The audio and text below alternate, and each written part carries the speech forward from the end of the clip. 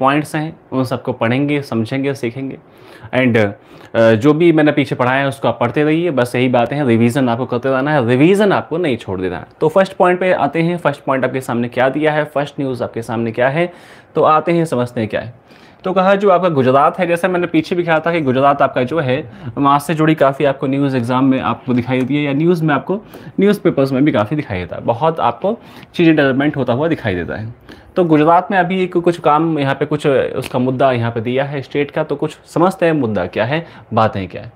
Gujarat becomes first state in the country to launch Balika Panchayat. तो ऐसा पहला राज्य बन गया है देश का, जहाँ पे कि बालिका पंचायत जो है स्टार्ट की जा रही है। और बहुत अच्छा छोटे जो बच्चे होते हैं या आप कह सकते हैं जो बच्चियाँ हैं, लड़कियाँ हैं, उनको एक मोटिवेट करने का यहाँ पे कोशिश जो गवर्नमेंट कर रही, बहुत अच्छी बात है। फीमेल्स को बढ़ाना चाहिए और उनको तो जो भी पीछे इतिहास में हम यदि थोड़ा सा पढ़ते हैं हिस्ट्री और इतिहास की बात करते हैं हिस्ट्री की बात करते हैं तो वहाँ पर आप देखते हैं कि जो समाज था सोसाइटी थी, वो मेल डोमिनेंस रही फीमेल्स पे या जो थोड़ा सा अनुसूचित जाति थी, उन पे काफ़ी समस्याओं को उनको सामना करना पड़ा। तो उससे जुड़ा जो एक जब इंडिपेंडेंस होता है तो गवर्नमेंट प्रयास करती है चीज़ों को आगे बढ़ाने का और जो नीचे तबा, तबका था, उसको ऊपर उठाने का। तो फीमेल्स हैं, चाहे वो अनु एस हैं, चाहे एसटी हैं, चाहे वो जितने भी आपके ऐसी जाती हैं तो उनको सबको उठाना चाहिए ताकि वो कॉमन सोसाइटी में वापस आ पाएँ और थोड़ा सा वो भी एक कॉमन जो आपका सामान्य जो आपका सोसाइटी है, उसमें योगदान अपना दे पाएँ। तो वही यहाँ पे थोड़ा सा बात हुआ है, देखो। समझते नीचे पॉइंट आपको क्या दिए हैं? Gujarat becomes the first state in the nation to launch Balika Panchayat with an aim to strengthen girl power in the state जैसा कि मैंने कहा कि फीमेल्स से जो ये लड़कियाँ हैं, बच्चियाँ हैं, उनको बढ़ाने का प्लानिंग यहाँ पे गवर्नमेंट चाहती है, उसको, उनको बढ़ाना चाहती है आगे। दिस यूनिक इनिशिएटिव आज started in several villages of Gujarat Kutch district कौन सा डिस्ट्रिक्ट है? कच्छ का डिस्ट्रिक्ट है। आपको बहुत फ़ेमस पता है। कच्छ का रण है। बहुत बड़ा आपका आगे जाके वो डेजर्ट आपका जो है, वहाँ पे आगे स्टार्ट हो जाता है। राजस्थान में आपका जो चला जाता है, काफ़ी बड़ा पार्ट हो जाता है। थोड़ा सा आगे बढ़ें। दिस इनिशिएटिव आज started by the women and child development welfare department of the Gujarat कौन सा डिपार्टमेंट है? गुजरात गवर्नमेंट का जो स्टार्ट कर रहा है। तो नाम ध्यान रखना आपको। Women and child development welfare आपका जो डिपार्टमेंट है गुजरात गवर्नमेंट का है। सेंटर गवर्नमेंट का नहीं है। ये भी थोड़ा सा आपको डिफ्रेंशिएट रखना एक सेंटर गवर्नमेंट है, एक स्टेट गवर्नमेंट है। तो यहाँ पे स्टेट गवर्नमेंट की बातें यहाँ पे हो रही हैं। तो गुजरात के अंडर में है। और बेटी बचाओ, जो बेटी पढ़ाओ, जो कैंपेन चलता है, वो आपका काफ़ी टाइम से आपको पता ही ये चल रहा तो उससे जोड़ के यहाँ पे चीज़ें की जा रही हैं। This panchayat will be managed by people in the eleven to twenty one age group कहाँ से कहाँ तक की लड़कियाँ, कितनी एज से कहाँ तक की मिनिमम एंड मैक्सिमम एज आपको ध्यान रखनी है। एग्ज़ाम में कभी कभी पूछता कि आपको सीधा पॉइंट नहीं पूछेगा, उसके अंदर कोई सब पॉइंट है, वो पूछेगा। तो एज कितना है? इलेवन से ट्वेंटी तक का ग्यारह से इक्कीस साल तक की जो लड़कियाँ हैं, बच्चियाँ हैं, उनको आगे बढ़ा रही है गवर्नमेंट एंड ऐसा प्रयास यहाँ पे किया जा रहा है। फटाफट से आगे बढ़ते हैं, देखते हैं नेक्स्ट पॉइंट आपके सामने क्या दिया हुआ है। तो आते हैं, समझते हैं क्या है? तो कहा कि Jammu and Kashmir to host G twenty meeting in 2023 आपको पता है जी ट्वेंटी मीटिंग इंडिया में होना है 2023 का तो उसके लिए पूरा, यहाँ पे पूरा एकदम तैयारी चल रहा है इंडिया में। जी ट्वेंटी का मीटिंग 20 देश जो हैं ग्रुप ऑफ़ 20 कंट्रीज़ है। जी ट्वेंटी जैसे जी सेवन है जी वैसे ट्वेंटी भी है आपका। आशियान है साक ऐसे बहुत सारे समूह, बिम्स्टैक ऐसे बहुत सारे समूह दुनिया में मौजूद हैं आपके। तो जी ट्वेंटी का मीटिंग होना है, दो में कहाँ पर होना है? जम्मू एंड कश्मीर में होना है। बहुत बहुत बहुत। आपके एग्ज़ाम में आपके जितने भी एग्ज़ाम रहेंगे 22 में 23 में, सब में ये एग्ज़ाम में आपको दिखाई देगा ही देगा कि जी का मीटिंग जो 23 में होना है, कौन से स्टेट में रहेगा? तो जम्मू एंड कश्मीर में रहेगा। एक एक साल नहीं तेईस तक भी जब आपका मीटिंग नहीं होता है, न तेईस तक का तो वहाँ पर भी जितना डेढ़ साल, दो साल के आसपास का समय है, पूरा ये मीटिंग आपको एग्ज़ाम में दिखाई देगी ही देगी। तो कहा कि जी ट्वेंटी का मीटिंग होना दो हज़ार तेईस में कहाँ जम्मू एंड कश्मीर में होना है। समझते और पॉइंट यहाँ पे क्या दिए हैं? The UT government has also set up a five member high level committee for the coordination of G twenty summit कहा कि पाँच मेंबर की एक कमेटी बनाई है जो कि आपका यहाँ पे uh, चीज़ों को आगे बढ़ाएगी और ध्यान देगी कि कैसे आपकी चीज़ें अच्छा हो सकें और कोई समस्या ना आनी नहीं आनी चाहिए उसमें। और इंडिया की साइड से जो आपके जो हेड रहेंगे कमेटी के वो भी यहाँ पे दिया है। देखो पीयूष गोयल जो है आपके जो कॉमर्स एंड इंडस्ट्री मिनिस्टर है, वो आपका यहाँ पे चीज़ों को हेड करेंगे, उनके अंडर में चीज़ें रहेंगी। तो यहाँ पे नाम भी आपको थोड़ा सा पता होना चाहिए, कौन है, पीयूष गोयल है, जो यहाँ पे हेड करेंगे चीज़ों को, उनके हिसाब से ऑर्गेनाइज होंगी।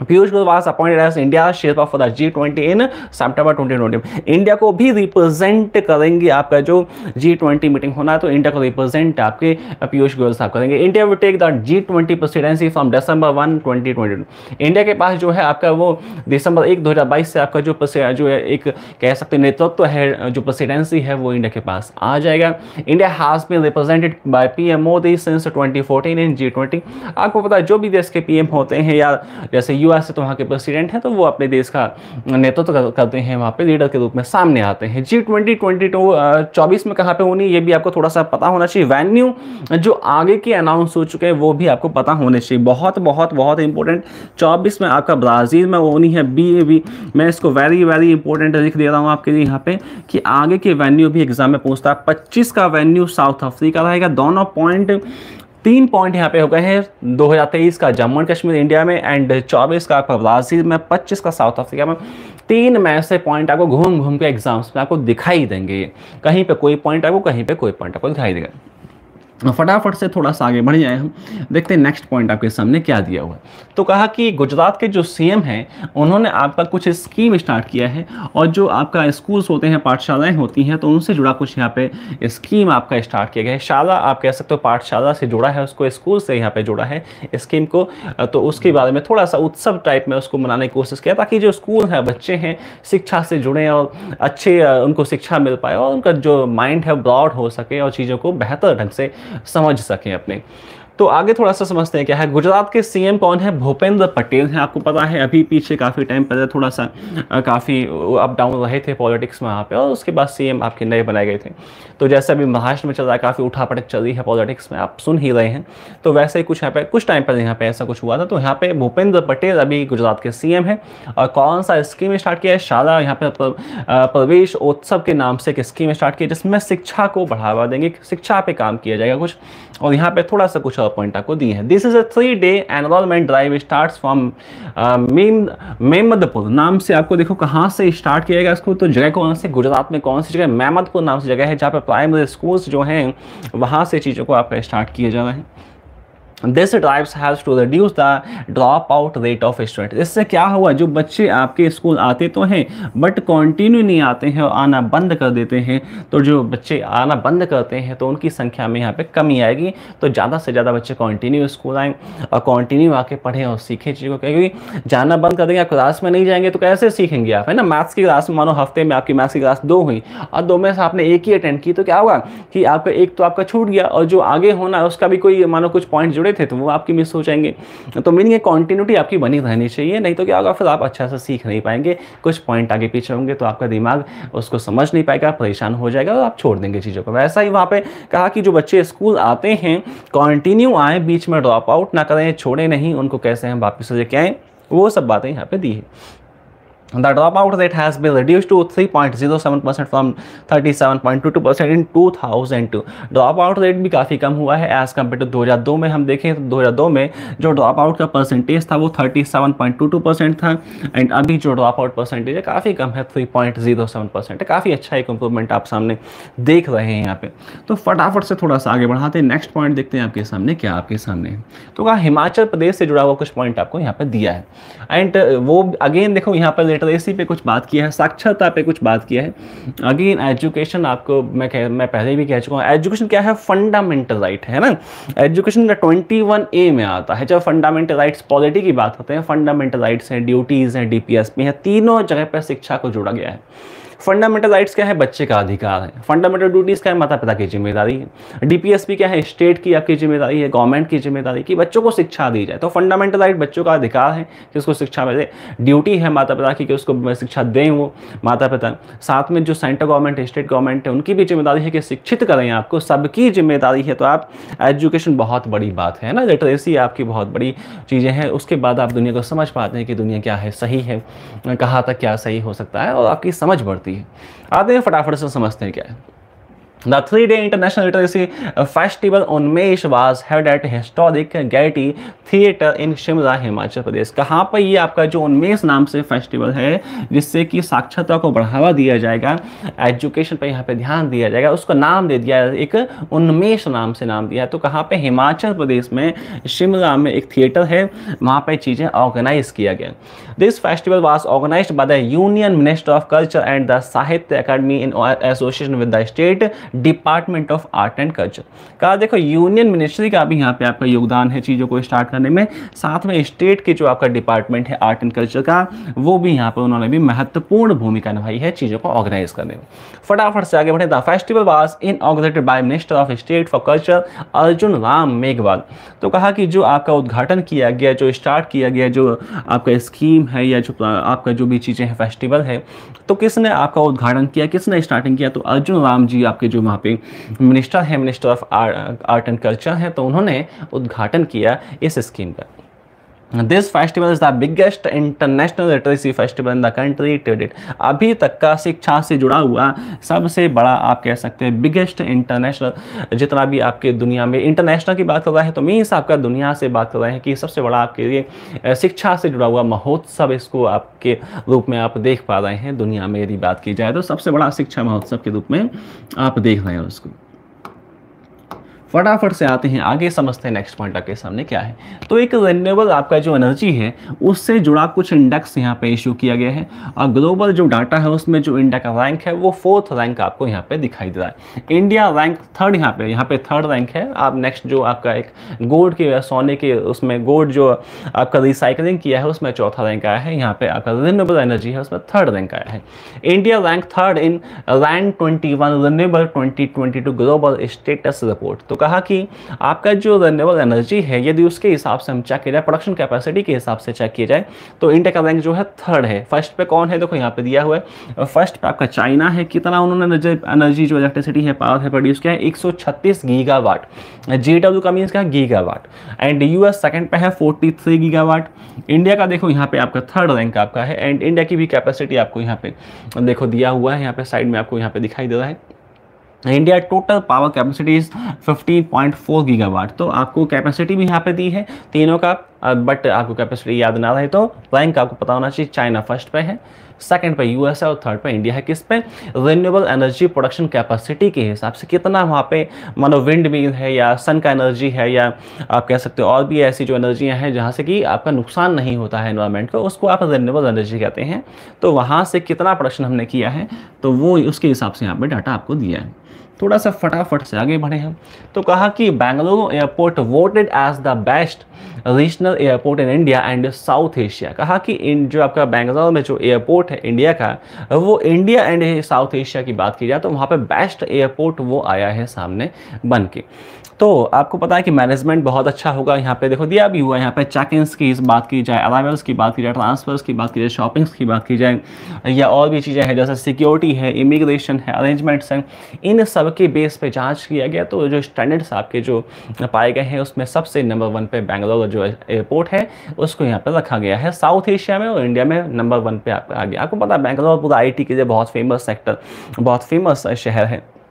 एंड बेंगलोर के बाद गुड़गांव की बात आती है नोएडा की बात आती है आईटी सेक्टर में और आईटी में क्या है? बहुत पैसा है सब बड़े बड़े जो होंगे, जो बिज़नेस पर्सन हैं या जो इंजीनियर्स हैं, जो टेक्नोक्रेट्स हैं, वो सब वहाँ पे आएँगे। तो एयरपोर्ट भी तो अच्छा होना चाहिए ना, ऐसा आप याद कर सकते हो जोड़ के चीज़ों को कि बेंगलोर एयरपोर्ट नंबर वन पे है। क्यों? आईटी सेक्टर में बेंगलोर नंबर वन पे है एंड उसके बाद गुड़गांव और नोएडा की बात होती है तो वहाँ पर क्या होगा? बड़े बड़े टेक्नोक्रेट्स आएँगे बिज़नेस पर्सन आएँगे तो अच्छी सुविधाएँ वहाँ पर देनी पड़ेंगी। तो गवर्नमेंट ने इस वजह से वो आपको वहाँ पर चीज़ें आपको दिखाई दे सकती हैं। तो थोड़ा सा और इन्फॉर्मेशन आपको दिया है कि एयरपोर्ट अथॉरिटी ऑफ़ इंडिया का जो हेडक्वार्टर है, वो कहाँ पे है? दिल्ली में है। एएआई आपको पता है, जो सब कुछ ऑर्गेनाइज करती है एयरपोर्ट से जुड़े हुए सारे काम, सारी चीज़ें आपको ध्यान में रखती है फटाफट से आगे बढ़ें, जो आपको मैंने पीछे कहा था कि जो आपका गोल्ड रिसाइकलिंग की बात की जाए तो दुनिया में आपका जो इंडिया का रैंक है, वो आपका यहाँ पे फोर्थ आपको दिखाई दे रहा है। जैसे मैंने पीछे यूज़ किया था कि यदि हम जो भी आपके गोल्ड मार्केट है, एक तो नया सोना आपने, है ना बाई किया। और साथ में आपके पास जो पुराना सोना आपने कुछ उससे नए आपके ऑर्नामेंट्स बनवा दिए तोड़ मोड़ के, है ना तो वो क्या है कि यूज़ कर दिया आपने उसको। तो वो वैसा जो प्रोसेस आप कह सकते हो, मान सकते हो कि अगेन यूज़ कर देना चीज़ों को रिसाइकलिंग कर देना। तो उसके हिसाब से डाटा चेक किया गया है और जो रिपोर्ट है वो वर्ल्ड गोल्ड काउंसिल आपकी जो रिपोर्ट है, उनकी आपकी रिपोर्ट यहाँ पर दी गई है, जिसमें कि जो इंडिया का रैंक है, सोने को जो आप रिसाइकलिंग करने के बाद यूज़ करने में वो चौथे रैंक पर इंडिया गया है। उसके पहले भी यहाँ पर आपको दिया देखो कि सबसे पहले आपका जो चाइना है, जैसा कि आप आपने पीछे भी दिखा एंड उसके बाद आपका यूएस हो जाता है एंड उसके बाद आपका जो है, वो आप कह सकते हैं इटली उसके बाद सेकंड पे है और थर्ड पे यूएस है ना? China Italy US and India China, Italy US India आपका तीन स्टार्टिंग के चौथे पे इंडिया का। बट अच्छा है टॉप फाइव में भी यदि कोई देश आता है तो वो बहुत बेहतर दुनिया में काम कर रहा है। क्योंकि दुनिया में एक सौ छियानवे के आसपास वन के आसपास आप कंट्रीज़ मान सकते हो तो आप एक से ही टॉप फाइव में आ रहेगा तो अपने आप में बहुत बड़ी बात है। और चाइना, आप देखो, पीछे भी चाइना वन पे था, यहाँ भी चाइना वन पे है तो चाइना अपने आप में यूएस को बहुत पीछे छोड़ रहा है। यहाँ पे यूएस थर्ड पे आ रहा है, और पीछे भी यूएस सेकंड पे था, चाइना वन पे था। तो आप देख सकते हैं कि आपका जो चीज़ें हैं, चाइना कैसे अपने चीज़ों को ओवरटेक करता जा रहा है दुनिया में? और 2030 से इकतीस में क्या होगा? चाइना ओवरटेक करेगा यूएस को जीडीपी के हिसाब से। ये भी काफ़ी टाइम से रिपोर्ट मार्केट में है कि चाइना ओवरटेक करेगा यूएस के जीडीपी को और सबसे बड़ा जीडीपी वाला कंट्री दुनिया दुनिया बन जाएगा ट्वेंटी में। तो ये भी अपने आप में थोड़ा सा डाटा है। The gold refining capacity of India वो भी आपको यहाँ पर दिया has been increase by fifteen hundred ton से पाँच परसेंट आपकी बढ़ गई है एज कंपेयर टू दो दो की बात की जाए। तो इंडिया की जो कैपेसिटी है, सोने को रिसाइकलिंग करने की 1500 टन्स की है एंड जो कि 21 से लेकर अब तक कितनी हो गई 500 गुना हो गई है। बहुत बड़ी, बहुत अच्छी बात है ये और साथ में जो आपकी संस्था है, उसका भी हेडक्वार्टर यहाँ पर दिया है कि उस संस्था का जो हेडक्वार्टर है, वो कहाँ पे है? यूके में आपका लंडन में आपका जो हेडक्वार्टर आपका है, जो कि 1987 में संस्था फाउंड हुई है। सीईओ का नाम भी डेविड टेट आपको यहाँ पे दिया गया है। फटाफट से आगे बढ़े ये संस्था का हेडक्वार्टर आप याद रखें, बस इतना काफ़ी ईयर कब बना है ये एग्ज़ाम में 99.9 परसेंट नहीं पूछेगा। और यदि पूछा तो आप बता नहीं पाए वो क्यों नहीं बता पाओगे, मैं आपको समझा देता हूँ। क्योंकि बहुत सारे संस्थान हैं और बहुत सारी चीज़ें हैं। मैं कहूँ कि यदि इंटरनेशनल संस्थान पे आते हैं तो 50 के आसपास या उससे भी ज़्यादा संस्थान हैं। आप किस किस के ईयर आप फाउंडिंग याद करेंगे, याद ही नहीं हो पाएँगे, क्योंकि आपकी ह्यूमन ह्यूमन कैपेसिटी एक लिमिटेड तक है। जैसे मैं पीछे भी कह चुका हूँ कि जब पॉलिटी की बात करते हैं तो तीन सौ पिचानवे मेन आर्टिकल हैं, जब अमेंडमेंट्स में जाते हैं तो चार सौ साठ पैंसठ के आसपास आर्टिकल्स हो जाते हैं। तो चार सौ साठ पैंसठ आपके आर्टिकल्स ह्यूमन कैपेसिटी नहीं है कि आप याद करो चाहे वो आई क्यों ना हो, चाहे वो यू के अध्यक्ष क्यों ना हो साढ़े चार सौ, तीन सौ पिचानवे आर्टिकल किसी को याद नहीं होंगे, जो इंपॉर्टेंट है, जो आते हैं, जो अच्छे हैं, वही याद करके एग्ज़ाम्स क्वालिफाई होते हैं। फटाफट से आते हैं, आगे थोड़ा सा बढ़ाते हैं। सुप्रीम कोर्ट से जुड़ा हुआ कुछ पॉइंट आपको यहाँ पर दिया है। तो कहा कि एक्स सुप्रीम कोर्ट जज Ranjana Prakash Desai is new press council of India chief कहा कि आपके जो सुप्रीम कोर्ट की पुरानी आपकी जज रही हैं तो उनका कुछ अभी उनको कोई डिपार्टमेंट सौंपा है तो वो यहाँ पे आपको दिया गया है। एंड कौन सा डिपार्टमेंट है? देखो प्रेस काउंसिल ऑफ़ इंडिया की वो चीफ बन गई हैं। कौन? क्या नाम है मैम का? देखो, रंजना प्रकाश, आपका देसाई जो हैं, ये नाम है मैम का council press council of India की चीफ बन गई हैं। एंड साथ में आपका क्या थी, वो एक्स सुप्रीम कोर्ट जज रही हैं, पीछे सुप्रीम कोर्ट में जज रही हैं। अपनी, अपने आप में बहुत बड़ी बात है। सुप्रीम कोर्ट में जज होना ही, अपने आप में बहुत बड़ी बात है, बहुत बड़ा चैलेंज है, बहुत बड़ा अचीवमेंट होता है ना? सुप्रीम कोर्ट में आप जज मिल जाए। आप सोचिए कि इंडिया का जो सबसे बड़ा कोर्ट है, जहाँ पे आपके थर्टी फोर जजेज अभी प्रेजेंट टाइम में जो थर्टी थ्री प्लस वन की संख्या आपकी मौजूद है, चौंतीस जजों में आप वहाँ पे बैठे होंगे तो बहुत बड़ा अपने आप में ही बात होता है। जो भी सुप्रीम कोर्ट डिसीज़न सुनाता है इंडिया में, वो मानना ही पड़ता है, चाहे गवर्नमेंट है, चाहे कोई स्टेट गवर्नमेंट है, चाहे कोई आम आदमी है, चाहे कोई बिजनेसमैन है, सभी को वो स्टेटमेंट माननी पड़ेगी, जो भी सुप्रीम कोर्ट में सुनाया गया है। आते हैं, समझते हैं पॉइंट क्या। फॉर्मर सुप्रीम कोर्ट जज justice Ranjana Prakash Desai 72 years has been appointed as the chairperson of press council of India तो आपको जो प्रेस काउंसिल ऑफ़ इंडिया है, उसकी वो अध्यक्ष बन गई हैं, जो मैम आपकी हैं रंजना देसाई आगे समझते हैं क्या दिया है। She succeed former supreme court जज justice C K Prasad who have the office from 2014 to 2022 का इससे पहले कौन थे? सी के प्रसाद आपके जो बैठे हुए थे इस पद पे 14 से लेकर 22 तक वो बैठे थे। अभी मैम वहाँ पे बैठेंगी। एंड ये भी आपके जो थे सी के प्रसाद साहब, ये भी सुप्रीम कोर्ट से ही जुड़े हुए थे। आगे फटाफट से बढ़ा रहे हैं। She became the first women chairperson of press council of India वो आपकी प्रेस काउंसिल ऑफ़ इंडिया की पहली महिला अध्यक्ष बनेंगी। जैसा कि आपको पता है कि अभी प्रेसिडेंट के लिए चुनाव होना है है ना? तो उसके लिए भी आपका डेट्स कुछ आ चुकी हैं। आपकी अट्ठारह जुलाई के आसपास, जो है आपका प्रेसिडेंट राष्ट्रपति चुनाव होने की संभावना है। उसमें बीजेपी ने अपना कैंडिडेट जो है वो घोषित कर दिया है। द्रौपदी मुर्मू को आपका जो बीजेपी ने अपने साइड से राष्ट्रपति बनने के लिए नॉमिनेट किया है। एंड विपक्ष जो है, कांग्रेस जो है, उनकी साइड से यशवंत सिन्हा जो है, उनको राष्ट्रपति बनने के लिए नामित किया गया है। तो ज़्यादा चांस तो द्रौपदी मुर्मू के ही है, क्योंकि आपका जो सत्ता में पार्टी होती है, अभी सत्ता में बीजेपी है तो जिस पार्टी जो सत्ता में होती है, उसके पास सबसे ज़्यादा एम एल होते हैं, वो आसानी से अपना जो कैंडिडेट है, उसको जिता पाती है। तो राष्ट्रपति बनने के जो चांस हैं, जो बीजेपी की कैंडिडेट है मैम आपकी द्रौपदी मुर्मू, काफ़ी उनकी भी एज है सेवेंटी के आसपास तो वो भी एक नया अभी न्यूज़ चल रहा था, वो भी थोड़ा सा आपको ध्यान रखना कि बीजेपी ने किसको बनाया है? नॉमिनेट किया है द्रौपदी मुर्मू को, राष्ट्रपति बनने के लिए अपनी साइड से नॉमिनेट किया है। वही जीतेंगे 99 परसेंट वही जीतेंगे क्योंकि बीजेपी के पास क्या है? सत्ता में ज़्यादा एम पी एम हैं एज़ कंपेयर टू विपक्ष, कांग्रेस के कंपेयर में देखा जाए तो। फटाफट से आगे आ रहे हैं थोड़ा सा। शी वाज द जज of the Supreme Court from 2011 to 2014 2011 से 14 तक वो जज थी। She also headed the delimitation commission on on Jammu and Kashmir delimitation commission आपको एक यहाँ पर टर्म दिया है। थोड़ा सा मैं आपको समझा दूँ क्या है। जैसा कि आपको पता है कि अभी डीलिमिटेशन कमीशन इंडिया की बात करें तो 2026 में बैठना है। तो मीन्स इंडिया में जो आपकी लोकसभा की सीटें हैं और जो विधानसभा की सीटें हैं, उनका क्षेत्र बढ़ाना है या घटाना है, कितनी सीटों की संख्या बढ़ानी है, घटानी है, वो चेक करता है क्या डीलिमिटेशन कमीशन चेक करता है कि भाई कितना आपकी लोकसभा की सीटें बढ़ेंगी या विधानसभा की सीटें बढ़ेंगी। तो अभी छब्बीस में ये होना है इंडिया में। तो अभी जम्मू कश्मीर में पीछे हुआ था तो उससे जुड़ा रही थी मैम आपकी। तो ये थोड़ा सा ध्यान रखना डिलिमिटेशन कमीशन क्या होता है? जो बाउंड्री को बढ़ाने, घटाने के लिए जो कमेटी होता है, उसको आप कहते हैं। संख्या जो है, लोकसभा में कितने एम पी बैठेंगे, उसकी जो संख्या है तो वो बढ़ाई जाएगी। छब्बीस में ये अगेन कमीशन बैठेगा। फटाफट से थोड़ा सा आगे बढ़ा दें। उसके बाद नेक्स्ट आपके सामने पॉइंट देखते हैं क्या आपको दिया है। एक अपॉइंटमेंट आपको दिया है। एंड आपके जो अपॉइंटमेंट है, वो पीएम के रूप में यहाँ पे अपॉइंटमेंट आपको दिखाई दे रहा है। सोमालिया देश के नए आपके प्राइम मिनिस्टर बन गए हैं। कौन बन गए हैं? हमजा अब्दी बारे जो पर्सन है, वो आपके पीएम बन गए हैं सोमालिया देश के।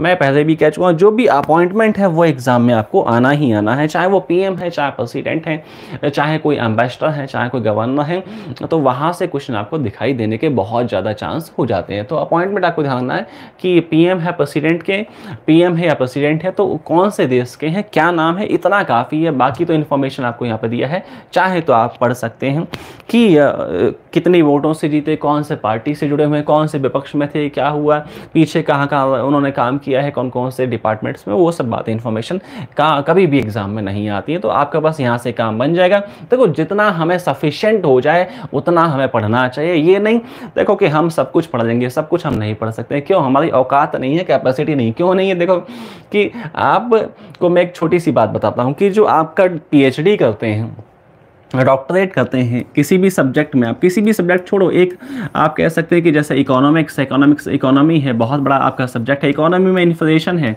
महँगाई है। महँगाई पे आपका बस महँगाई महँगाई पे इन्फ्लेशन में पाँच साल आपका पीएचडी हो जाता है। तो हर एक चीज़ बहुत वास्ट है, बहुत वास्ट है। जो आप सिंपल इक्वेशन समझते हो x plus three y is equal to seventeen और x minus two y is equal to eighteen ये भी आपको मैं कहूँ कि ये भी आपका जो, यदि कोई भी आपका मैथ मैथ्स का टॉपिक है तो वो भी अपने आप में बहुत वास्ट है। फिजिक्स का टॉपिक है, वो भी अपने आप में बहुत वास्ट है। सब कुछ आप और हम नहीं कर सकते हैं। हमारी एक क्षमता है ह्यूमन कैपेसिटी, जैसा मैंने पीछे कहा। तो हमें उतना पढ़ना है जितने से हमारा काम अच्छे से बन पाए, और जो हमारा काम का नहीं है, उसको साइड हटा देना है। फटाफट से आते हैं आगे। तो समझते हैं नेक्स्ट पॉइंट आपको क्या दिया। हो यहाँ पर भी एक अपॉइंटमेंट आपको दिया है। प्रेसिडेंट आपके बने हैं। एंड कोलंबिया देश के आपके जो राष्ट्रपति हैं, वो बन गए हैं। कौन बन गए? देखो गौस्तव पेट्रो नाम से जो पर्सन है, वो राष्ट्रपति बन गए हैं कोलंबिया के। इतना मोर देन सफिशेंट देश का नाम, देश के राष्ट्रपति बने हैं या पीएम बने हैं, इतना काफ़ी। जहाँ पे अच्छा पॉइंट होगा, मैं आपको समझा दूँगा, बता दूँगा। समझते हैं क्या? है नेक्स्ट पॉइंट आपको क्या है? तो यूएन में आपके परमानेंट रिप्रेजेंटेटिव के रूप में एक पर्सन का अपॉइंटमेंट हुआ है इंडिया की साइड से। वो यहाँ पे आपको दिया है। Ruchira Kamboj appointed permanent representative to UN तो ये काफ़ी अच्छा पॉइंट है। इसको थोड़ा सा मैं नीचे आपको समझाता हूँ। Indian ambassador to Bhutan Ruchira Kamboj has been appointed as the permanent representative of India to UN United Nation से जो भी जुड़ा हुआ मुद्दा है, उसको आपको अच्छे से समझना है, अच्छे से पढ़ना है, याद रखना है। यू जैसा मैंने पीछे कहा यूएन है वर्ल्ड बैंक है आईएमएफ है, ये जितने भी बड़े बड़े संस्थान है, आशियान है, साख है, ये सब में कुछ भी होता है तो आपको थोड़ा सा समझना है और उसको याद रखना है। तो कहा, इंडिया की साइड से रोचरा कम्बोज को परमानेंट आपका रिप्रेजेंटेटिव बनाया है इंडिया ने, कहाँ पे यूनाइटेड नेशंस में।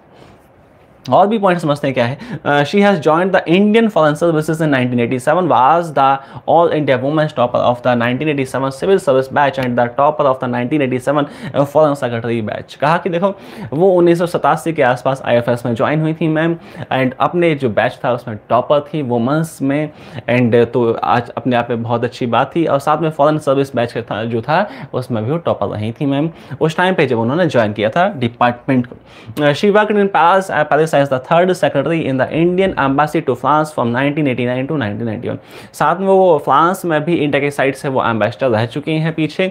साथ में she was also posted as ambassador to UNESCO Paris in 2014 तो यूनेस्को के साइड से भी यूनेस्को से भी जुड़ी रही वो।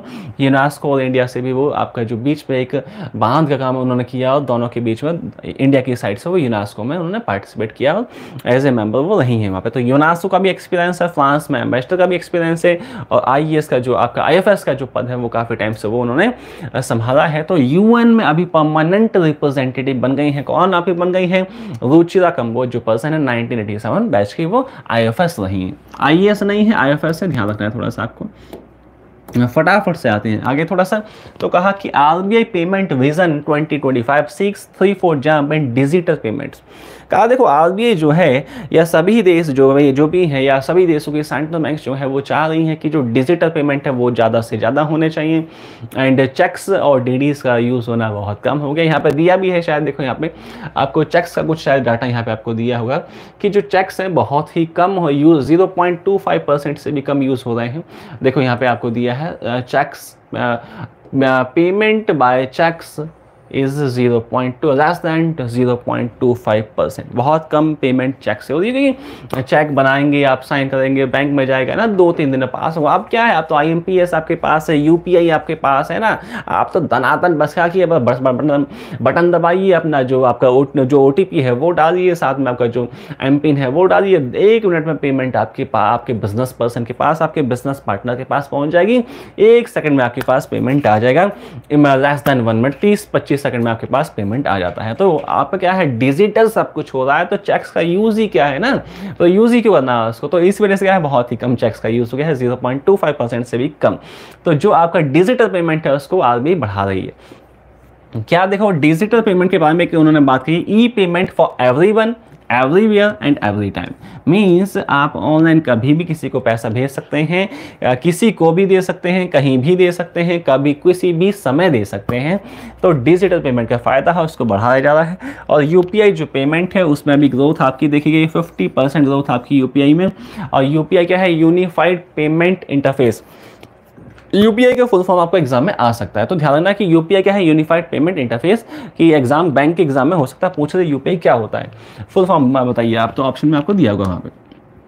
फटाफट से थोड़ा सा आगे बढ़िया जाए तो यहाँ पे थोड़ा सा आगे हम बढ़ गए हैं। तो कहा कि Fitch revise rating outlook on nine Indian bank from negative to stable कहा कि जो फिच आपकी संस्था है एक बहुत बड़ी संस्था है, बहुत बड़ी कंपनी है, जो कि जो बैंक्स को या कंपनीज़ को रेटिंग्स प्रोवाइड करती है, जिससे आपका जो इकोनॉमी है, उसका आइडिया होता है कि इकोनॉमी अच्छा है कि थोड़ा सा डाउन है। तो फिच ने जो आपके नाइन इंडियन बैंक्स हैं, उनकी जो आपकी जो एक कंडीशन थी, पहले नेगेटिव थी नेगेटिव दिखाई हुई थी, अभी उसको स्टेबल दिखा दिया है।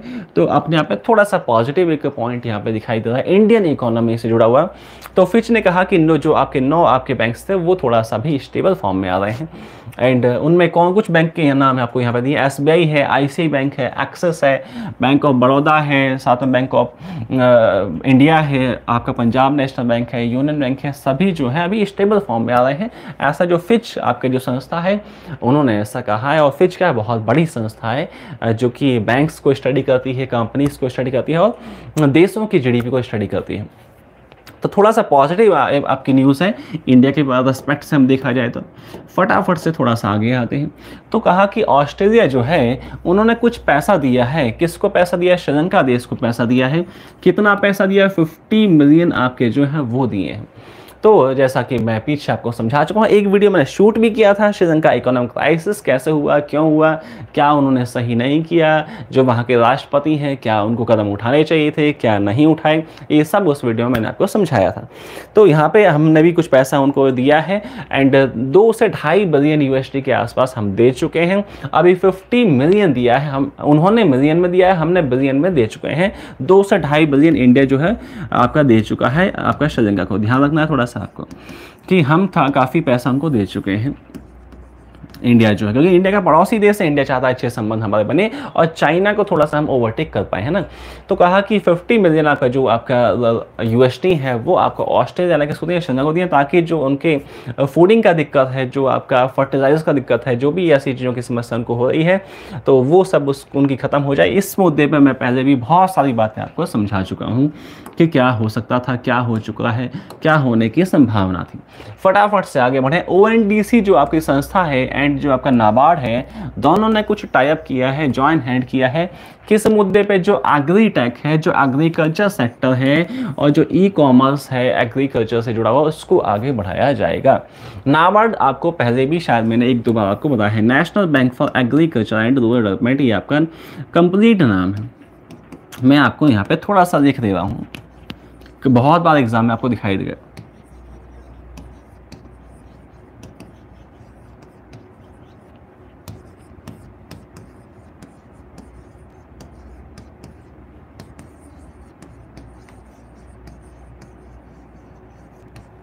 नाबार्ड, आपको ध्यान रखना नाबार्ड बहुत बड़ा संस्थान है इंडिया में। आरबीआई के बाद में जो आपका एग्रीकल्चर आरबीआई तो पूरा इंडिया को मैनेज करती है बट नाबार्ड जो है, खेती को देखता है एग्रीकल्चर सेक्टर को पूरा ध्यान देता है।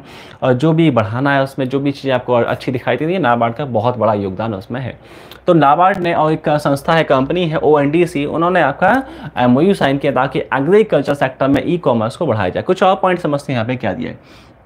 Open Network for Digital Commerce है joint hands with National Bank for Agriculture and Rural Development to activate e commerce in the agriculture domain कहा कि देखो, खेती में हम ई कॉमर्स को लेके आए ई कॉमर्स आपको पता है क्या होता है कि ऑनलाइन पे ऑनलाइन आपका जो है मार्केटिंग होना अमेजोन है फ्लिपकार्ट है, और भी जो ऐप्स हैं वेबसाइट है, वहाँ पर जाके किसान अपनी चीज़ों को बेच पाएँ, वहाँ से खरीद पाएँ, आसानी से चीज़ें आसान हो पाएँ।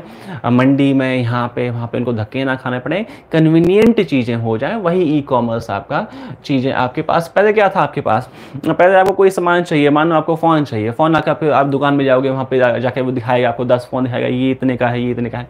अब आपके पास क्या है? अब आपके पास अमेजोन है। अमेजोन पर जाएँगे आप दस ही फ़ोन आप देख लेंगे पाँच मिनट के अंदर और जो मन पसंद करेगा वो आप आप ऑर्डर कर देंगे आपके पास दो दिन के अंदर वो आपके पास पहुँच जाएगा। यही ई कॉमर्स का फ़ायदा है।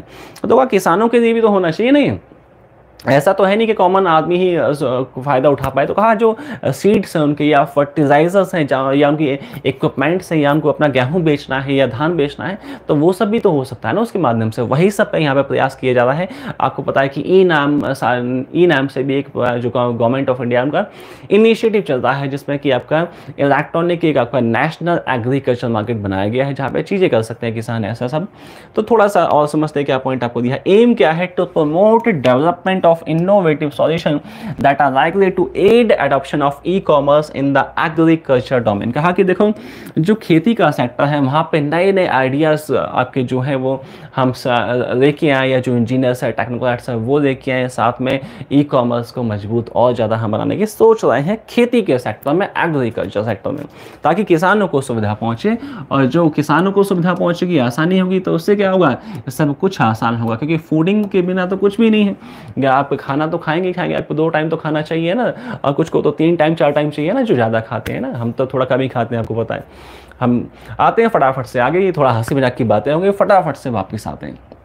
कहा कि RBI extends date for implementing of provisions concerning card issuance कहा कि जो आरबीआई ने कुछ गाइडलाइंस की डेट उन्होंने दी थी, उसको बढ़ा दिया है। एंड जो डेट दिया था, किससे जुड़ा हुआ डेट था वो? जो कार्ड्स होते हैं debit card and credit card उनसे जुड़ा हुआ कुछ आपका गाइडलाइंस था।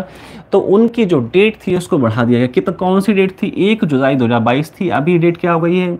एक अक्टूबर 2022 हो गई है। क्या है? किसकी डेट है? आरबीआई ने डेट को एक्सटेंड किया है। किन चीज़ों की डेट है? जो जो क्रेडिट कार्ड है, डेबिट कार्ड है, उनके इंश्योरेंस के जो गाइडलाइंस हैं, उनको यहाँ पे एक्सटेंड किया गया है। समझते हैं पॉइंट यहाँ पे क्या दिया। The Reserve Bank of India has notified that it has extend the time line for implementation of a few provision under its market direction on credit card and debit card insurance तो उनकी जो guidelines थी, उनकी जो date थी, उसको बढ़ा दिया गया है।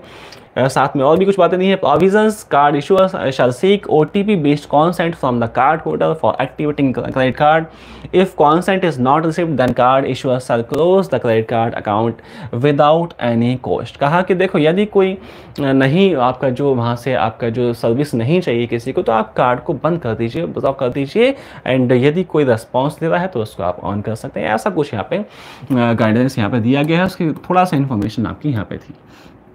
फटाफट से आते हैं आगे। तो कहा कि South Indian Bank launches Exim trade portal SIB T F online. South Indian जो बैंक है, उन्होंने एक एक्सपोर्ट इंपोर्ट जो बिज़नेस व्यापार से जुड़ा हुआ एक ऑनलाइन आपका जो एक कह सकते हैं प्लेटफॉर्म डिज़ाइन किया, उसका नाम दिया है सिब टी एफ़ ऑनलाइन। यहाँ पे देखो, यहाँ पे आपको बड़ा बड़ा आपको दिखाई दे रहा है।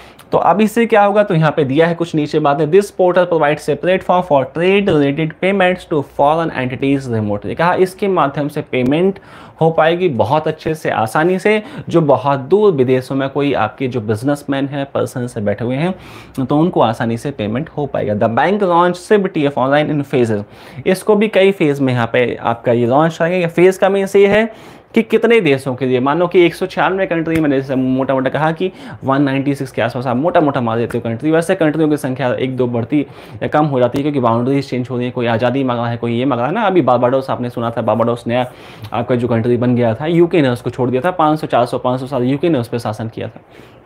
तो मैंने कहा कि आपकी जो कंट्रीज़ की संख्या है दुनिया में थोड़ा सा कम ज़्यादा भी हो सकती है। क्या मैंने कहा कोई आज़ादी मांग रहा है कोई? आ, कहीं पे कुछ हो रहा है तो बहुत सारी बातें हैं। तो कहा कि फ़ेज़ में उसको लेके आएँगे कि कितने देश मानो दस बीस देशों के लिए स्टार्ट किया उसके बाद सेकंड फ़ेज़ में मानो आपकी कंट्री की संख्या बढ़ा दिया तो ऐसी यहाँ पर चीज़ें होंगी। फटाफट से आगे बढ़ा दें उसके बाद समझते हैं नेक्स्ट पॉइंट आपको क्या दिया हुआ है। तो कहा कि Freo starts offering saving account with Equitas Small Finance Bank आपकी जो कंपनी है फ्रीओ नाम से, वो आपकी उन्होंने टाइप किया है किसके साथ? इक्विटाज स्मॉल फाइनेंस बैंक के साथ टाइप किया है, जिससे कि वो सेविंग्स अकाउंट जनता की ओपन कर पाएँगे। पता है आपको कि जो नॉन बैंकिंग फाइनेंस कंपनी होती है, छोटी संस्थाएँ होती हैं, उनके पास ये शक्ति नहीं होती है पावर नहीं होती है कि वो आपका सेविंग अकाउंट या करंट अकाउंट ओपन कर सकें। वो कुछ अमाउंट में आपसे पैसा दे सकते हैं एफ़ के फॉर्म में आर के फॉर्म में, या सा, साथ में आपके जो लोन्स हैं वो भी बहुत कम अमाउंट की आपको देंगे। तो सारी जो आपकी सेवाएँ हैं वो बैंक्स के पास तो होती हैं but non banking finance company के पास नहीं होती। तो वहीं यहाँ पे आपका जो प्रयास किया गया है इस कंपनी के द्वारा इक्विटाज स्मॉल फाइनेंस बैंक है, उनके साथ मिलकर यहाँ पे सेविंग्स अकाउंट जनता को वो देंगे, ऐसा उन्होंने कोशिश की है यहाँ पे। साथ में कुछ और बातें यहाँ पे दी हैं। The digital savings account has been integrated with Equitas infrastructure on the Freo save app तो उनका अपना ऐप है तो वहाँ से भी आपका जो कंपनी के साथ टाइप हो रहे हैं तो आपस में जो ऐप पे सर्विसेज़ बढ़ाई जाएँगी, सेवाएँ बढ़ा दी जाएँगी। फ्री जो फ्री कंपनी है, उसके जो को फाउंडर हैं कौन है? अनुज काकेड नाम से जो पर्सन है, वो संस्थापक हैं इस कंपनी के, को संस्थापक हैं सह संस्थापक आप कह सकते हैं को फाउंडर है वो। फटाफट से आते हैं। नेक्स्ट पॉइंट पे समझते हैं क्या आपको दिया हुआ है। तो एक और स्मॉल फाइनेंस बैंक है, उससे जुड़ा हुआ कुछ आपको पॉइंट यहाँ पे दिया है। A U Small Finance Bank है, बहुत अच्छा छोटा सा बैंक है, उसके बारे में थोड़ा सा इन्फॉर्मेशन आपको यहाँ पे दिया है। कस्टमाइजेबल क्रेडिट कार्ड एलआईटी उन्होंने एक क्रेडिट कार्ड को स्टार्ट किया है इशू करने के लिए। आपकी चीज़ें स्टार्ट की हैं, उसका नाम यहाँ पे दिया है। उसको भी यहाँ पे देखो, आगे कंप्लीट नाम आपको दिया है। एल आई टी का भी नाम आपको आगे दिया है। क्या है? लाइव इट टूडे है ना? तो ऐसा कुछ यहाँ पे आपको एल का इन्फॉर्मेशन भी आपको थोड़ा सा ध्यान रखना है कि जो आपका कंप्लीट नाम आपको जहाँ पे है वो पता होना चाहिए आपको। तो थोड़ा सा नीचे पॉइंट समझते हैं क्या है this credit card offers a unique value proposition to card holders कहा कि इसमें क्या होगा, जो आपके, जिनके पास कार्ड्स हैं, उनको कुछ खास सुविधाएँ, सेवाएँ यहाँ पर दी जाएँगी, जो बैंक है वो यहाँ पे कुछ ऑफ़र करेगी। साथ में कुछ और पॉइंट यहाँ पर दिए हैं card holders can choose the features and time period according to their विशेष अपनी इच्छा के हिसाब से जो समय है, चीज़ें चीज़ें हैं पेमेंट कितने टाइम पे करनी है, वो सब यहाँ पे वो चुन सकते हैं जिनका कार्ड यहाँ पे है। So the A U zero one zero one app app का नाम है जहाँ से ये चीज़ें सारी आपकी जो सेवाएँ हैं बैंक की आप पा सकते हो। Card holder can track their savings savings earning daily to maximise their benefits कहा कि देखो, आपको जो पैसा कमाते हो, वो बचाना भी चाहिए आपको ना? सेविंग्स करनी चाहिए। तो उसको आप कैसे बढ़ा सकते हो?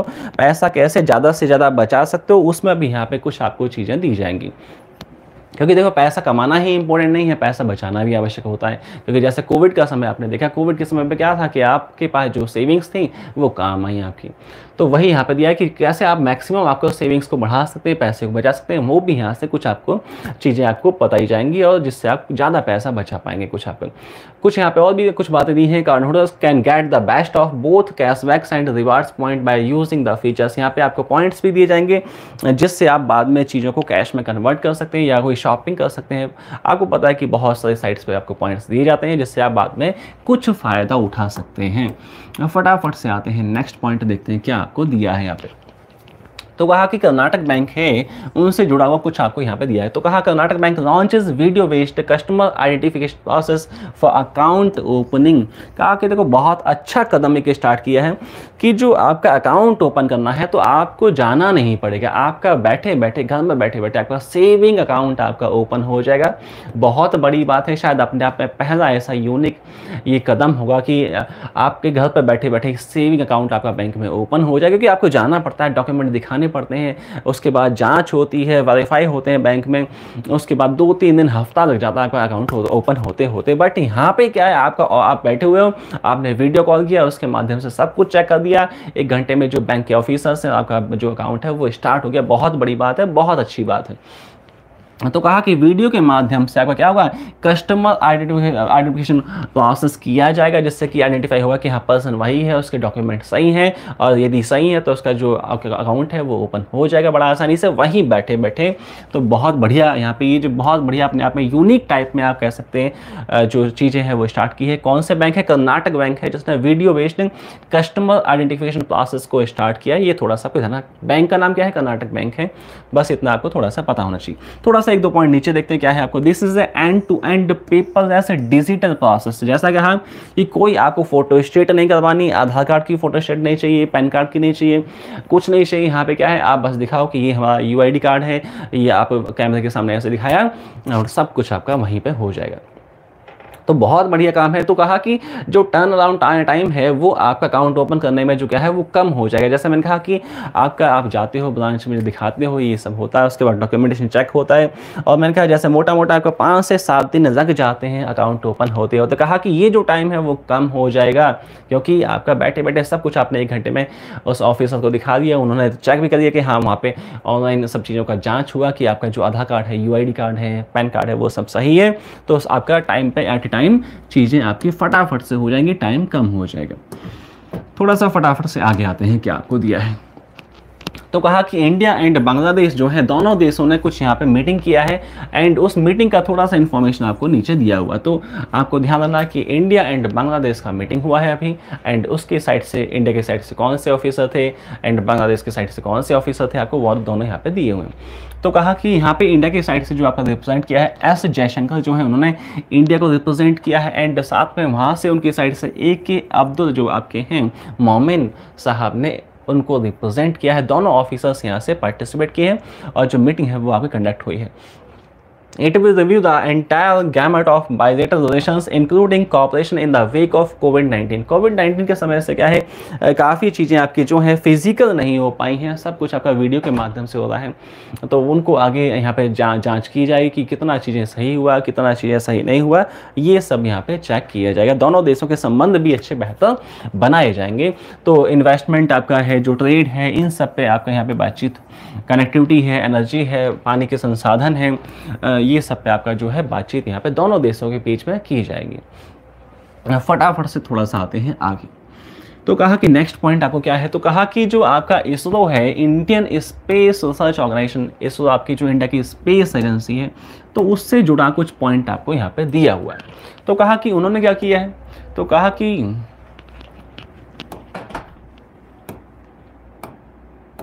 तो आपको पता है कि या तो कोई मिशन छोड़ा होगा किसी आपके प्लानट पे, या क्या सैटेलाइट को छोड़ा होगा, यही दो तीन काम मोटे मोटे होते हैं।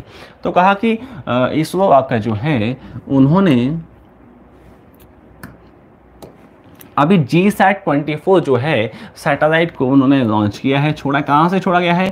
फ्रेंच गोइनिया आपके से इसको छोड़ा गया है। आपको ये भी थोड़ा सा ध्यान रखना कि आपकी फ्रेंच कंपनी है जो इसमें अभी थोड़ा सा पार्टिसिपेट कर रही है और वो हिस्सेदार यहाँ पे है। तो इंडिया की जो संस्था इसरो है एंड फ्रांस की कंपनी है, दोनों ने मिलकर एक सैटेलाइट को डिज़ाइन किया, उसको यहाँ से लॉन्च किया। कहाँ से? फ्रेंच गुइनिया से इसको छोड़ा गया है। थोड़ा सा फटाफट नाम क्या है? जी सेट ट्वेंटी नाम है इसका। फटाफट से आगे बढ़ जाए उसके बाद नेक्स्ट पॉइंट आपको दिया है साउथ कोरिया ने भी आपका जो एक सैटेलाइट यहाँ से छोड़ा है, उसकी भी इन्फॉर्मेशन आपको यहाँ पे दी हुई। तो इंडिया का भी था एंड यहाँ पे साउथ कोरिया से जुड़ा हुआ भी है कुछ यहाँ पे आपको।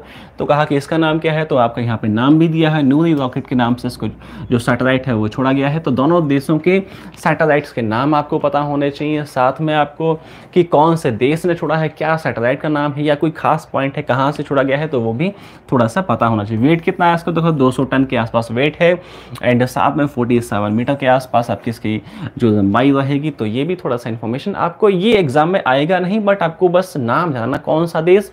सेटेलाइट का नाम क्या है? बस इतना पता होना चाहिए। फटाफट से आगे बढ़ जाए, उसके बाद देखते हैं नेक्स्ट पॉइंट आपको क्या दिया है। तो कहा कि नेक्स्ट आपका एक अवार्ड आपको यहाँ पे दिया गया है। अमेरिकन कैनेडियन यहाँ पे जो राइटर हैं, उनके, उनको यहाँ पे कुछ अवार्ड से सम्मानित किया गया है। वुमेंस प्राइज फॉर फिक्शन यहाँ पे दिया गया है। 2022 का क्या नाम है? लूथ और जैकी नाम से फीमेल्स हैं, उनको फीमेल हैं, उनको दिया गया है। यहाँ पे अवार्ड कौन सा है? वुमेंस प्राइज फॉर फिक्शन तो यहाँ पे किताब आपको दिखाई दे रही है। फिक्शन पे आपको जो किताब है, वो बनाई है, उसके लिए इनको सम्मानित किया गया है। वही सब यहाँ पे बातें दी हैं। तो अवार्ड का प्राइस का मनी भी यहाँ पे दिया है आपको तो कितना मनी यहाँ पे इनको दिया गया है। और साथ में कहाँ पे आपका जो सेरेमनी है, वो कहाँ पे यूके में लंदन में सेरेमनी रहा है, जो अवार्ड्स बांटे गए हैं। एंड कुछ और भी यहाँ पे बुक्स दी हैं। एंड uh, बुक का यहाँ पे नाम जो किस बुक किताब के दिन को दिया है तो the book of form and emptiness नाम से टाइटल दिया है किताब का जिसके लिए इनको सम्मानित किया गया है। और भी कुछ किताबें आपको यहाँ पे दी हैं जो मैम की किताबें हैं। तो कहा it is for the time being plus the novel my years of meats and all over creation ये सब किताब किताबें मैम ने बनाई है। अभी जिस किताब के लिए दिया है उसको थोड़ा सा पता होना चाहिए। ये किताब अभी की है ये आपको पता होना चाहिए ये इंपॉर्टेंट है। फटाफट से थोड़ा सा आगे बढ़े हैं, उसके बाद देखते हैं नेक्स्ट पॉइंट आपके सामने क्या दिए हैं। तो कहा कि neither Chopra clinches gold in 2022 Kuortane games in Finland Finland में आपका एक टूर्नामेंट हुआ है, उसमें नीरज चोपड़ा ने अगेन इतिहास बनाया है। अगेन आपका एक जो पदक है, स्वर्ण पदक फिर से जीता है। अभी पता है आपका जो ओलंपिक्स में वो जीत के आए थे गोल्ड मेडल। उसके बाद तो दुनिया में उनका नाम हो गया। इंडिया में तो उनको अपने सर पे गवर्नमेंट ने या हम सभी ने उनको उठाया और बहुत सम्मान दिया गया। तो अभी एक फिनलैंड में टूर्नामेंट हुआ। वहाँ पे भी स्वर्ण पदक जीता है। गोल्ड मेडल लेके आए हैं। एंड देखो, यहाँ पे कितना उन्होंने फेंका है। देखो, अपना जो, आप कह सकते हैं, जो गेम में उनका जो है एटी मीटर के आसपास आपका जो है, वो सेकेंड नंबर पर जो है, वो रहे हैं। और साथ में इनका एट्टी से थोड़ा सा ज़्यादा है। सिक्स है। देखो, नीचे शायद आपको दिया होगा वहाँ पे। कहा कि 86.69 मीटर इन्होंने फेंका है और जो सेकंड पाया है 86.64 मीटर, उसने फेंका है जो सेकंड पाया। आप सोचिए कि देखो 0.05 मीटर से क्या होगा ये जीत गए। आप देखिए, किस्मत होती है ना, एक किस्मत आप मान सकते हो कि 0.05 मीटर क्या होता है, बहुत बहुत बहुत मायने उठाता है। तो किस्मत भी मायने रखती है। देखो 0.05 से क्या हुआ, ये आपके वन पे आ गए और 0.05 मीटर से क्या हुआ सेकंड पे आ गए हैं। तो थर्ड पे जो है थोड़ा सा उसमें डिफरेंस है। 84.75 मीटर उन्होंने जो आपका भाला है, उसको फेंका है जैवलिन को फेंका है। जैवलिन गेम है नीरज चोपड़ा का, आपको पता ही है ओलंपिक्स में बहुत बड़ा शानदार काम किया है। तो अभी गेम्स में कहाँ पे गेम्स हुए? फिनलैंड में। एंड कौन से गेम है? कॉटन नाम से गेम है, जहाँ पे इन्होंने स्वर्ण पदक गोल्ड मेडल जीता है। नंबर वन पे आ गए हैं। फटाफट से आगे बढ़ जाए देखते हैं नेक्स्ट पॉइंट आपको क्या दिया हुआ है। तो कहा कि Ranjit Bajaj made chairman of advisory panel formed by COA to overseas AIFF functioning. तो रंजीत बजाज रंजीत जो बजाज साहब हैं, उनको आपका क्या बना है? चेयरमैन बना दिया गया है। किसका? सी ओ ए आपका जो सी ओ ए आपका जो चेक करेगा, जो ऑल इंडिया फुटबॉल फेडरेशन से जो जुड़ी चीज़ें चेक करेगा सी ओ ए तो उसकी कमेटी के वो, उस पैनल के वो हेड रहेंगे। ए आई एफ़ एफ़ देखो यहाँ पे दिया है ऑल इंडिया फुटबॉल फेडरेशन आपका है। सी ओ ए का भी यहाँ पे दिया है committee of administrators C O A क्या है? कमेटी ऑफ़ एडमिनिस्ट्रेटर्स यहाँ पे आपको। एम क्या है? देखो यहाँ पे दिया है to look the day to day matters of various departments of the All India Football Federation कहा जो ए आई एफ़ एफ़ है, उसके डेली के आपके जो खर्चे हैं, जो बातें हैं, उन सबको जाँच में रखा जाएगा और उस कमेटी के हेड रहेंगे आपके कौन? रंजीत बजाज साहब, उस कमेटी के हेड रहेंगे, अध्यक्ष रहेंगे। और सी ओ ए क्या है? कमेटी ऑफ़ एडमिनिस्ट्रेटर फटाफट से आगे बढ़ जाते हैं नेक्स्ट पॉइंट पे आते हैं, क्या आपको दिया है? तो कहा कि एक पर्सन थे, उनका डेथ हो गया है ऑबिचुअली यहाँ पे आपको दी है, और जो पर्सन थे, नाम क्या है? आर रविंद्रन यहाँ पे पर्सन थे, जो कि क्या थे? फ़ोटो जर्नलिस्ट आपके थे। आपको पता है कि जर्नलिस्ट कैसे होते हैं? जो आपके लिखते हैं, कुछ मानो कंटेंट दिया न्यूज़पेपर में मैगजीन में, या कोई फ़ोटो माने उन्होंने छापा इशू किया उसके बारे में कुछ बातें की। वो क्या है? फ़ोटो जर्नलिज्म है फ़ोटो के ऊपर कुछ बातें बताना कि ये फ़ोटो यहाँ पे खींचा गया ऐसा कंडीशन था, ऐसा हो सकता था, ऐसा नहीं हुआ, वैसा हुआ, उस वजह से ये फ़ोटो ऐसा आया, या यहाँ पे ये जो बच्चे हैं, ये ऐसा इस वजह से जो भी समस्याएँ हैं, वहाँ पे वो बताएँगे कि ये समस्याएँ गवर्नमेंट को ये कदम उठाने चाहिए थे गवर्नमेंट कदम उठा नहीं पाई, ये सारी बातें लोग को जो आपके जर्नलिस्ट है पर्सन है, वो बताएँगे। तो ये आपके, इनका डेथ हो गया है, क्या थे? फ़ोटो जर्नलिस्ट थे, आपको पता है साउथ इंडियन नेम आपको दिखाई दे रहा है। तो साउथ इंडिया से कहीं ये जुड़े हुए थे। थोड़ा सा देख लेते हैं क्या पॉइंट आपको दिया। Well known photo journalist Aravindan has been passed away at the age of 69 69 के आसपास की एज थी। उसमें इनका निधन हो गया। He was known for his iconic photo of Rajiv Goswami setting himself on fire during the Mandal agitation in the capital कहा कि उन्होंने एक फ़ोटो खींचा था तो उसके लिए वो काफ़ी फ़ेमस रहे थे, ऐतिहासिक। He has been awarded various photography awards बहुत सारे इनको अवार्ड्स दिए गए अपने जीवन में। साथ में he has worked in A F P and A N I A N I में काम किया, जो आपकी, जो गवर्नमेंट गवर्नमेंट की न्यूज़ एजेंसी है, उसमें भी जुड़े रहे वो फटाफट से थोड़ा सा आगे आ जाए, क्या है उसके बाद तो देखते हैं आपको। यहाँ पे एक डे आपको दिया हुआ है, और डे कौन सा? रेफ्यूजी डे आपको मनाया गया है दुनिया में। कौन सी डेट को? 20 जून को मनाया गया है। रेफ्यूजी आपको पता है, बहुत फ़ेमस एक मूवी जिसमें अभिषेक बच्चन ने शायद एक्टिंग किया था तो उस मूवी का नाम भी रेफ्यूजी था कि उनको क्या समस्याएँ होती हैं। जब देश से निकल जाते जैसे आपको पता है कि आसाम, पश्चिम बंगाल की हम बात करते हैं तो वहाँ पे एनआरसी की बातें हो रही थी, और कुछ जो जनता थी उनको हटाने की बात थी वहाँ से तो यदि कोई देश अपने यहाँ से जनता को हटाता है, ये कह के कि ये जनता हमारे देश की नहीं है तो वो क्या हो जाएगी? रेफ्यूजी बन जाएगी, और उनको कहीं दूसरे देशों में उनको जाना पड़ेगा, धक्के खाने पड़ेंगे, और काफ़ी समस्याओं का सामना उनको करना पड़ेगा। तो वही क्या है कि जो समस्याएँ होती हैं, कहा कि उनको समस्याएँ नहीं होनी चाहिए, उनको भी अप, इज़्ज़त से, मान सम्मान से जीने का अधिकार है, चाहे वो कोई भी हो, चाहे वो कोई भी, रेफ्यूजी हो या सिटीज़न हो या कोई भी इंसान हो। तो यहाँ पे थोड़ा सा डे मनाया है 20 जून को क्या है रेफ्यूजी डे मनाया है, दुनिया में इंटरनेशनल यहाँ पे आपका डे है वर्ल्ड आपका दुनिया में इसको सेलिब्रेट किया गया है। साथ में थोड़ा सा आपको जो थीम है, वो भी थोड़ा सा आपको ध्यान है कि थीम क्या है। Every one has right to seek safety this year the theme is based on the right to seek safety कहा, सबके पास सेफ्टी होनी चाहिए, सबके पास सिक्योरिटी होनी चाहिए।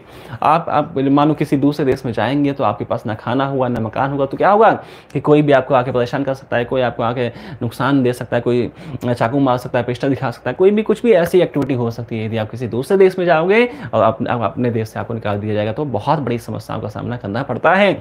आप देखो, हम और आप क्या हैं? घर में बैठे हुए हैं, आराम से बैठे हुए हैं, खाना है, पानी है, कपड़े हैं, सब कुछ हमारे पास है, लेकिन सब ऐसा नहीं है, सब जगह ऐसा नहीं है। यदि आप इंडिया में भी जाओगे, इंडिया में भी काफ़ी जगह ऐसी हैं जहाँ पे समस्याएँ हैं साथ में अफ्रीका महाद्वीप में जाओगे तो उसको अंध महाद्वीप कहा जाता है। बहुत ज़्यादा कंडीशन भयावह हैं, खाने के लिए उनके पास खाना नहीं है, दवाइयों के नाम पर उनके पास कुछ भी नहीं है। तो बहुत भयंकर आपका जीवन है। आप ये सोचते हो कि हमारे पास क्या है?